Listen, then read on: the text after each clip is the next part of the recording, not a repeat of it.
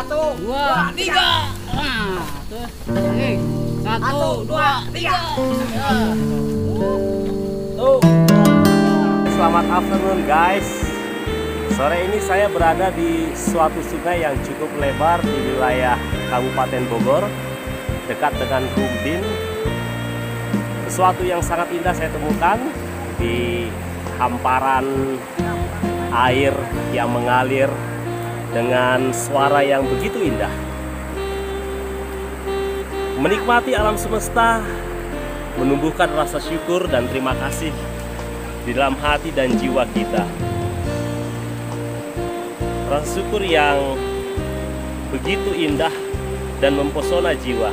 Tidak perlu jauh-jauh, tidak perlu sampai menempuh perjalanan menyeberangi pulau, tapi cukup berada di sekitar kita mengoptimalkan dan menikmati apa yang Tuhan telah sediakan bagi umat manusia. Biasa sekali. Desiran air menenangkan jiwa.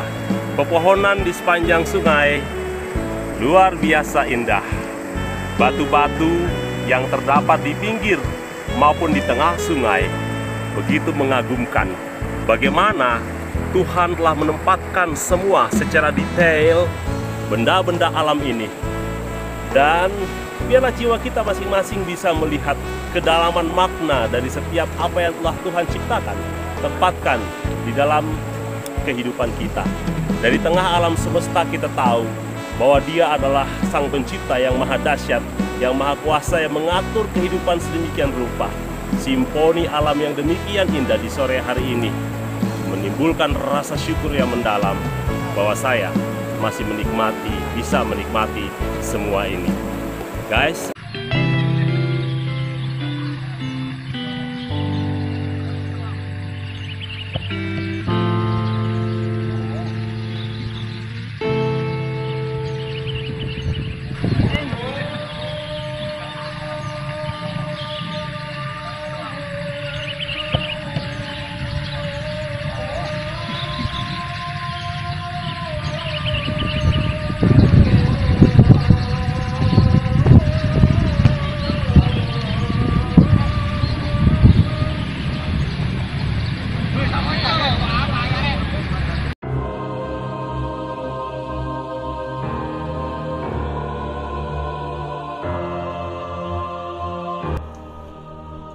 Arwah penasaran, pintu air Cisadane.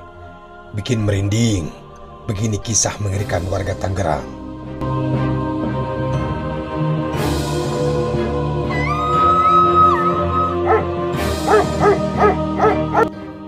Sahabat kerdok di mana pun kalian berada.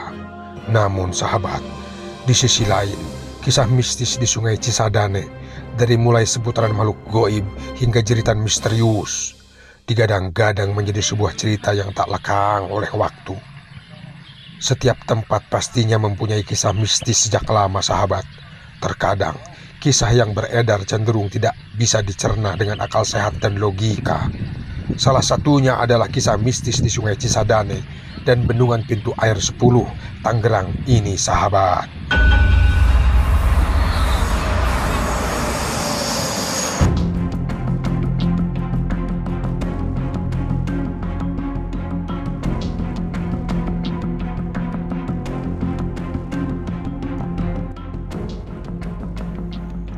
Cisadane merupakan sungai yang dibentuk dari dua suku kata, yaitu Ci dan Sadane.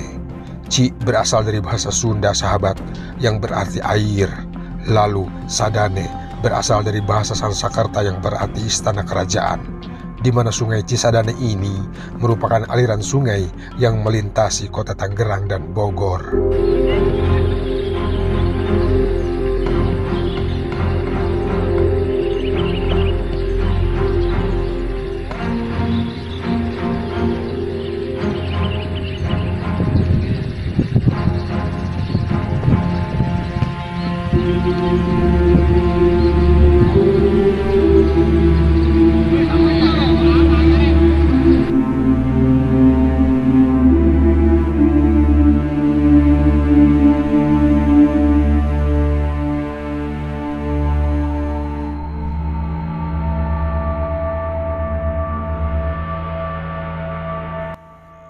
Sahabat Karadok Lenca di mana pun kalian berada sahabat. Selain itu sahabat, cerita mistis yang santer dari zaman dahulu sampai sekarang adalah tentang pintu air 10 yang mengatur aliran sungai Cisadane di mana menyimpan segudang kisah horor yang membuat bergidik pendengarnya. Buat kamu yang penasaran, simaklah terus video ini jangan di skip kisah mistis yang ada di tempat angker Tangerang tersebut sahabat.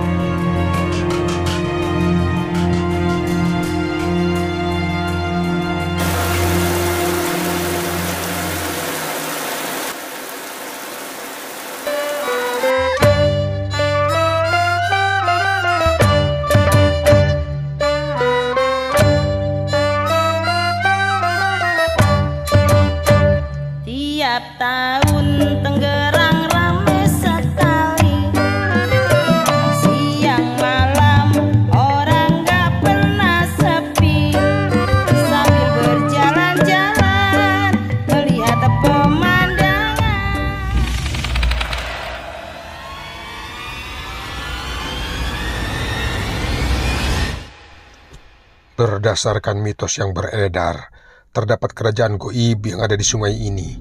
Warga setempat mengatakan kerajaan tersebut pernah terlihat oleh seseorang yang sedang memancing di sungai Cisadane. Cerita mengenai keberadaan goib ini diperkuat dengan legenda sungai tersebut, di mana pada zaman kerajaan Pajajaran dulu, aliran Cisadane dianggap sebagai aliran sungai suci pada masanya.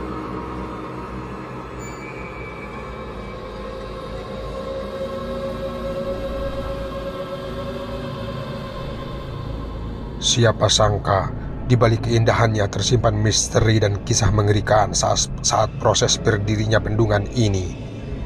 Proses berdirinya bendungan pintu air 10 Tangerang, menurut cerita, bendungan yang dibangun pada tahun 1927 tersebut dibangun saat masa penjajahan Belanda.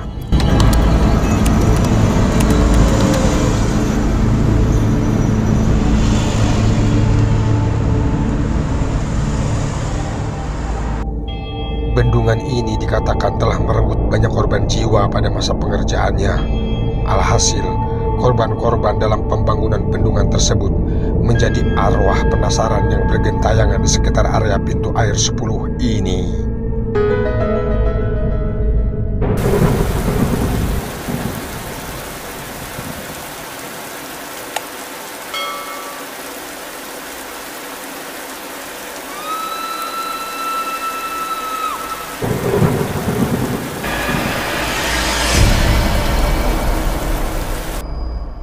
Selain itu, ada pula kejadian tak masuk akal yang sering kali dialami oleh para penjaga bendungan pintu air 10, yaitu suara jeritan atau tangisan dari arah pintu air. Yang lebih seramnya lagi adalah para penjaga meyakini jika jeritan atau tangisan tersebut merupakan tanda adanya mayat yang ditemukan tersangkut di pintu bendungan.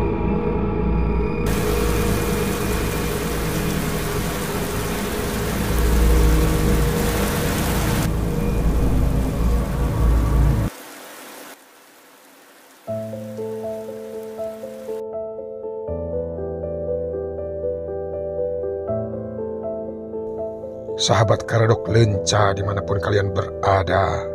Ditambah lagi dengan banyaknya korban yang hanyut di sungai Cisadane sendiri yang kemudian mayatnya ditemukan di sekitar bendungan tersebut. bahkan bisa mengambang atau tersangkut, menjadikannya momok yang sangat menyeramkan sahabat.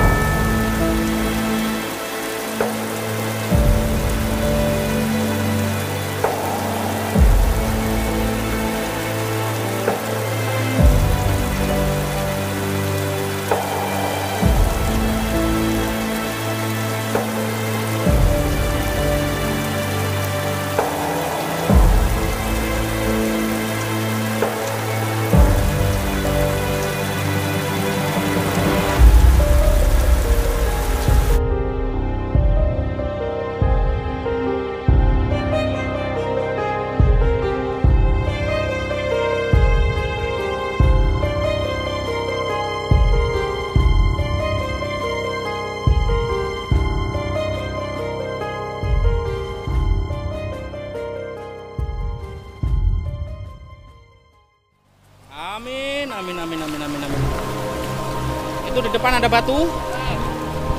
Nggak lewat kanan, boleh lewat tengah, boleh lewat kiri. Kalau lewat kiri nyangkut itu kayaknya.